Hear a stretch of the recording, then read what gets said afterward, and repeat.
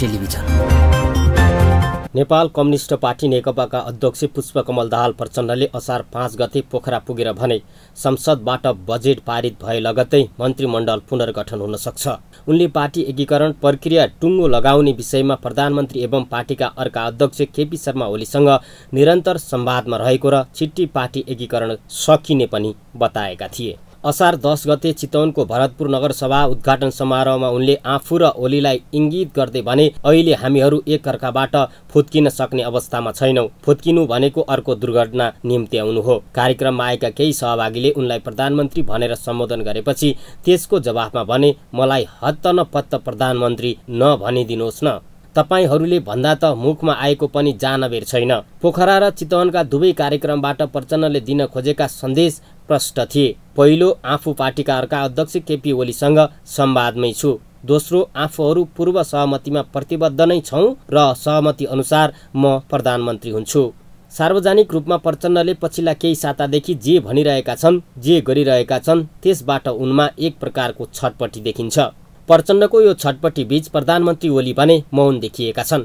सार्वजनिक कार्यक्रममा पनि कम आउन थालेका छन्। प्रधानमन्त्री केपी शर्मा ओली बालुवाटारभित्र केही नगरी भने बसेका छैनन्। अहिले उनले बालुवाटारमै सक्रियता बढाएका छन्। उनको सक्रियता पार्टीभित्र आफू बलियो बन्न केन्द्रित छ। प्रचण्डले मन्त्रीमण्डल पुनर्गठन हुँदैछ भनेर पोखरामा असार पाँच गते शुक्रबार बोलेका थिए। मन्त्री परिषद बैठक बस्ने पालो त्यसपछि आउने सोमबार थियो। प्रधानमन्त्री केपी शर्मा ओलीले क्याबिनेट बैठक आइतबार नै डाके। सरकारी कामको कुनै इमर्जेन्सी परेर होइन मन्त्रीहरूलाई आश्वस्त पार्न।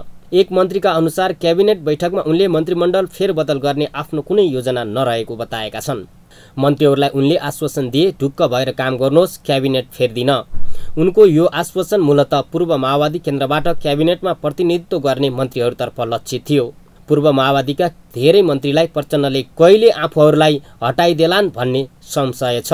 गृहमन्त्री रामबहादुर थापा आफूलाई छाडेर ओलीतिर लागेको आशंकामा उनलाई हटाउने प्रयास प्रचण्डले गरिसकेका छन्। गृहमन्त्री थापा निकट स्रोत भन्छ उहाँलाई हटाउन प्रचण्ड बालुवाटार गएर तीन पटक प्रधानमन्त्रीलाई भनिसक्नुभयो। प्रधानमन्त्री ओली पनि के कम? उनले थापालाई हटाउनुको सट्टा प्रचण्डले तपाईँलाई हटाउन चाहेका छन् भनिदिए। ओली र प्रचण्डबीच सत्तालाई लिएर मतभेद बढ्दै जाँदा पूर्व माओवादी केन्द्रबाट मन्त्री बनेका धेरैले प्रचण्डलाई सार्वजनिक रूपमा साथ दिएका छैनन्। उनले प्रयत्न नगरेका भने होइनन्। गृहमन्त्री थापा ऊर्जा मन्त्री वर्षमान पुन र वन मन्त्री शक्ति बस्नेतलाई आफ्नो निवास खुमलटारमै बोलाएर प्रचण्डले आफ्नो पक्षमा बोल्न अनुरोध गरेका छन्। स्रोत भन्छ। अध्यक्ष प्रचण्डले पूर्व माओवादी केन्द्रबाट मन्त्री भएकाहरूलाई बारम्बार खुमलटार बोलाएर अब राजनीतिक कार्यदिशा र सरकारको नेतृत्व परिवर्तन लगायत विषयमा आफ्नो लाइनको कुरा बोल्न आग्रह गरिसक्नु भएको छ। गृहमन्त्री थापा त यो साता दुई दिन प्रचण्ड निवास खुमलटार पुगे। उनका कुरा सुने तर प्रचण्डले भने चाहिँ पार्टी र सरकारका बारेमा चुसम्म गरेनन्। शनिबार बालुवाटारमा भएको सचिवालय बैठकमा ओली र प्रचण्डबीच रस्सा कसी हुँदा माधव कुमार नेपाल वामदेव गौतम र झलनाथ खनालले प्रचण्डलाई साथ दिए। ईश्वर पोखरेल र विष्णु पौडेलले ओलीका पक्षमा बोले। बादल भने मुसु मुसु हाँसेर बसे। कसैको पक्षमा बोलेनन्। प्रचण्डजी बादललाई गृहमन्त्रीबाट हटाउनुपर्छ भन्दै तीन पटकसम्म बालुवाटार जानुभयो। यता बादललाई बोलाएर आफ्नो पक्षमा बोल्नुहोस् भन्नुहुन्छ। उहाँको विश्वास कसरी गर्ने? बादल निकट नेताले भने बादल मात्र होइन बहालवाला मन्त्रीहरू वर्षमान पुन शक्ति बस्नेत मातृका यादव लगायत पनि प्रचण्डको एजेन्डामा खुलेर बोल्न तयार छैनन्। भोलि फेरि दुई अध्यक्ष मिल्लान्। हामीहरू बीच बुझाइको कमी थियो विवाद सकियो भन्लान्। एउटाको एजेन्डामा बोलेर किन जोखिम मोल्ने? एक मन्त्रीलाई उद्धित गर्दै उनका सहयोगीले भने ओली मन्त्रीमण्डलमा पूर्व माओवादी केन्द्रबाट आएका कैयन मन्त्रीहरू प्रचण्डको पक्षमा बोल्न मात्र हिचकिएका हुन् वा पार्टीभित्र समीकरण बदलेका हुन् यकिन छैन।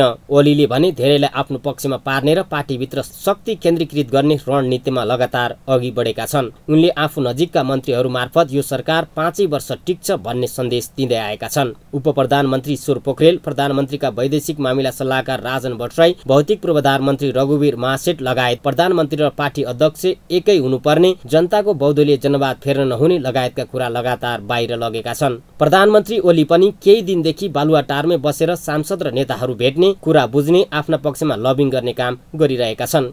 यहाँसम्म कि उनी आफूले सम्हालेका मन्त्रालयबारे संसदमा उठेका प्रश्नको जवाब दिन पनि गएनन् अर्थमन्त्री खतिवड़ालाई आफ्नो तर्फबाट जवाब दिन लगाए। प्रधानमन्त्री केपी शर्मा ओली निकट स्रोतले भन्यो उहाँ आन्तरिक परामर्शमा हुनुहुन्छ सरकारको काम भन्दा पार्टीमा धेरै केन्द्रित हुनुहुन्छ। प्रधानमन्त्री एकदम जरुरी बैठक बाहेक सरकारी काम कारवाहीका बैठकमा पनि सहभागी हुन छाडेका छन्।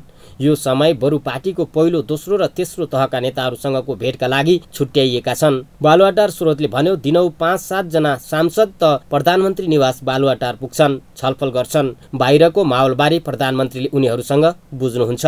यसले एउटा कुरा भने प्रष्ट सङ्केत गरेको छ। प्रचण्ड र नेपाल बीच निकटता बढ्दै गएपछि ओली पनि चुप लागेर बसेका छैनन्। पार्टीभित्रको अहिलेको शक्ति सन्तुलनलाई हेर्ने हो भने ओली प्रचण्ड र नेपाल तीन नेता मध्ये दुईजना जहाँ उभिन्छन् पार्टीको केन्द्रीय समिति र संसदीय दलमा उनीहरूकै बहुमत पुग्छ। पार्टीभित्रको यो शक्ति सन्तुलनलाई ओलीले बदल्ने प्रयत्न गरेका छन्। पूर्व माओवादी मन्त्रीहरूलाई आफ्नो पक्षमा ल्याउने प्रयास त्यसैको एउटा कडी हो। यसले नेकपा भित्रको शक्ति सङ्घर्ष अझ गहिरो हुने सङ्केत गर्छ।